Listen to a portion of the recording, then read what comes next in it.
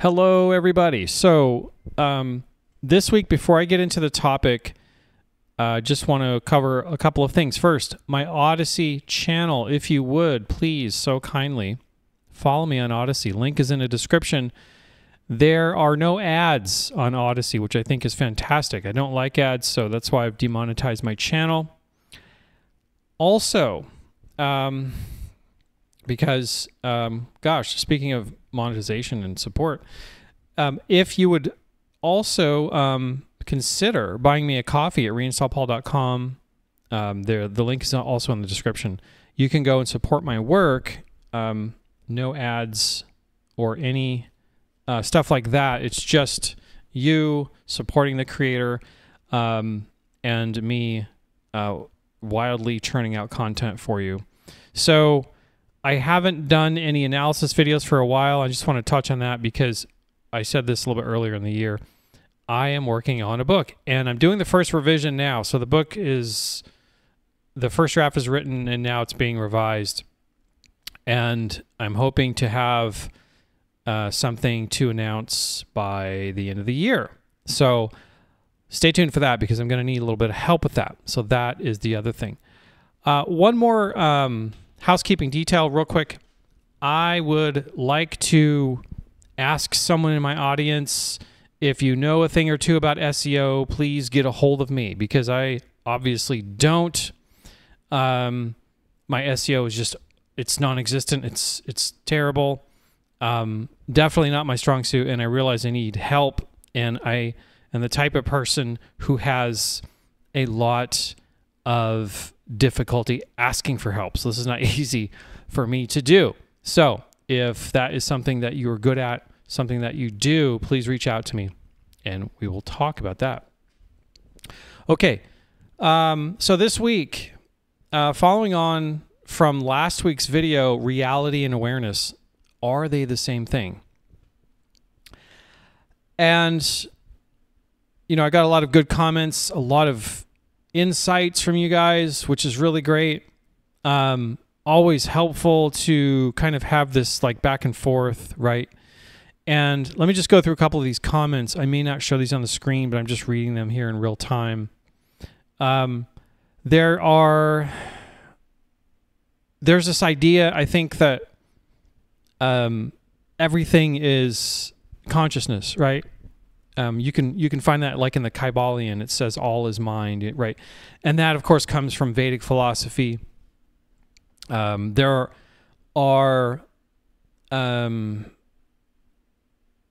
many instances in in different spiritual traditions where the thought is that the all-encompassing nature of reality is a mental exercise or it's consciousness it's awareness right and the more i think about this and the more i kind of look for examples of this in the world within myself um, the more i just keep coming back to this idea that reality uh, really the the fundamental nature of reality is awareness. It's it's conscious awareness, and I just can't. I mean, and I've explored so many different ideas over the years, and I keep coming back to this this notion that everything is conscious awareness, and I can't.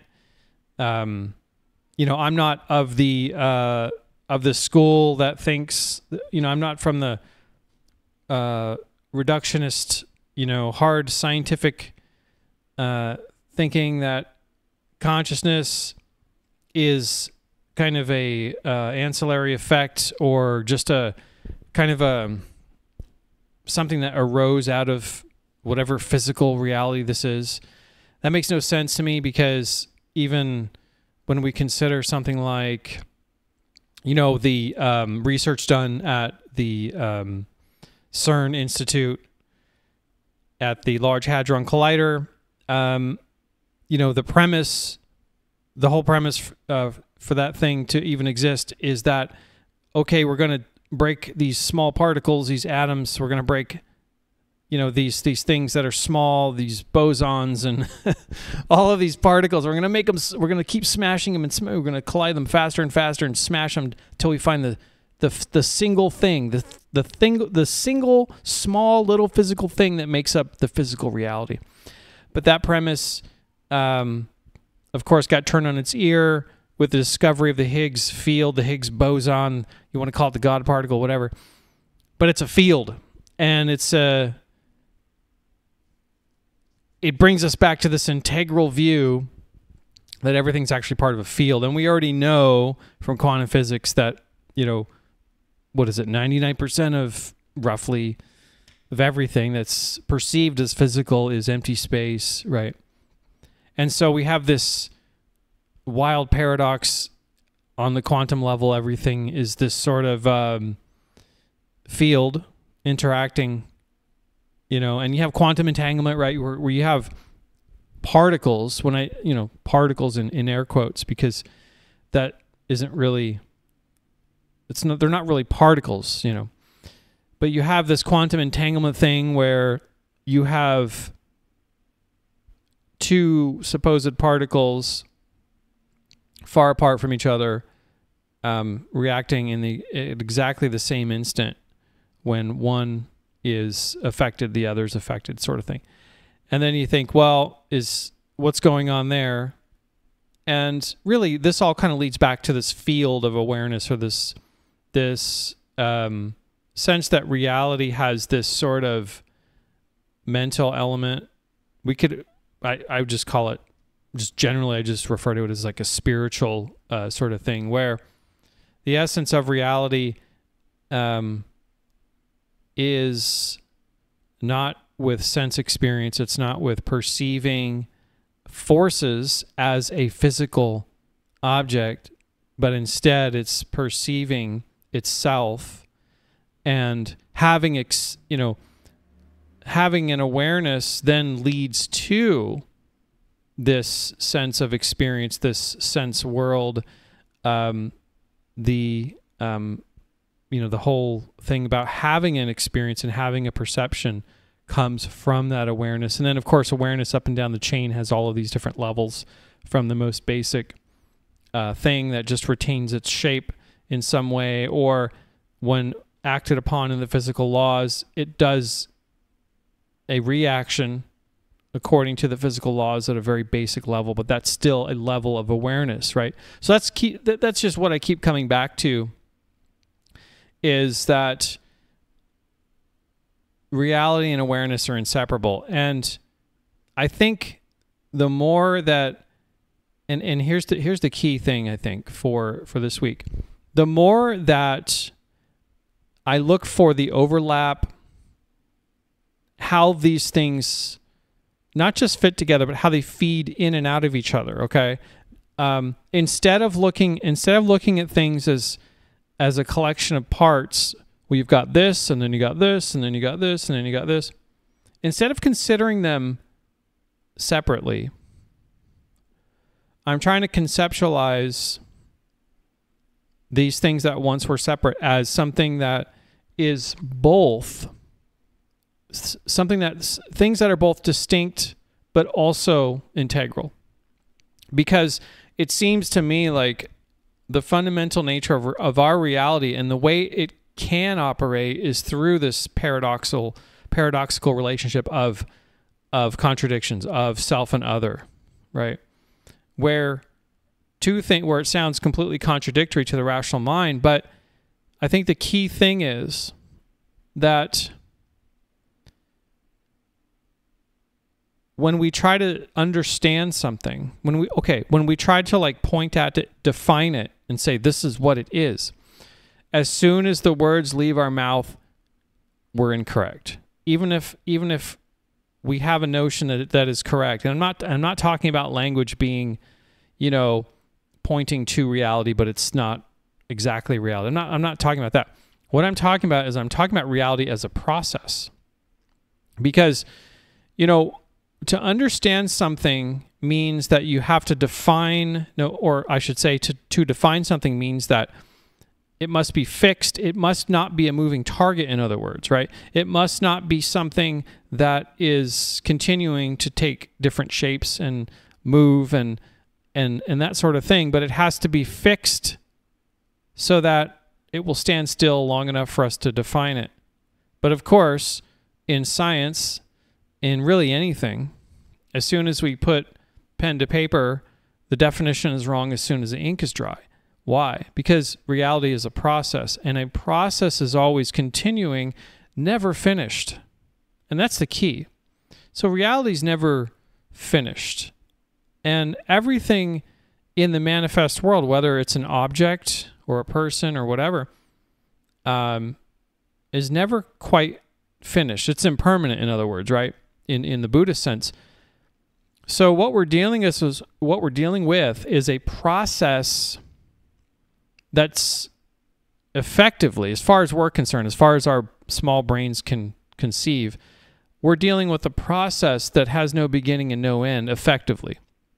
And so if we treat it that way, we treat it as an integral um, something that makes everything and yet is the one thing, then what I'm saying is if we think of ourselves as a process process, if we think of every object as part of the same process where it comes into being, it exists for a time in a certain shape or manner, it changes, it goes out of being, right? That's a process.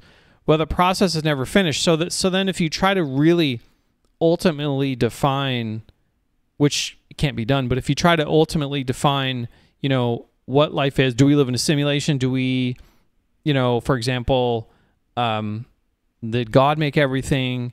How did that work? no matter what sort of um, metaphysics or explanation, right? Any sort of existential kind of uh, declaration we make, we're wrong because reality is a process that's not yet finished. Because if it's not yet finished, then it can't be defined. Does that make sense? So, the more I think about reality as a process, the more I start to think of myself and other people and everything as a process. And that's that's a really integral way to see the world, I think.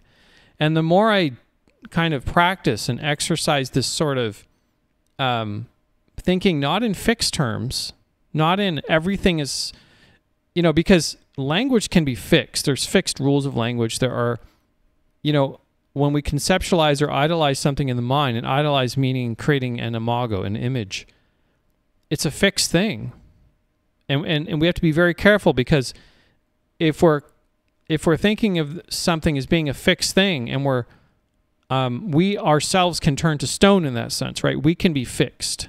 You don't want to be fixed because you are a process. Don't fix yourself or what what I what I mean to say is don't fixate or be fixed upon something that is a process because you're living in a process, you are the process, if that makes sense.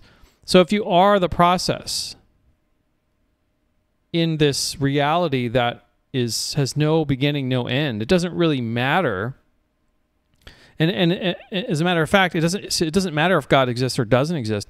As a matter of fact, it's irrelevant to even you know have some fixed pronouncement God exists. God does not exist. Both are both do you know uh, they they don't help you at all in the process of life in the sense that you know knowing that you're a process and you're part of something that's effectively has no beginning and no end that's very interesting because then you start to see the world in an integral way instead of a separated way and when you look at the world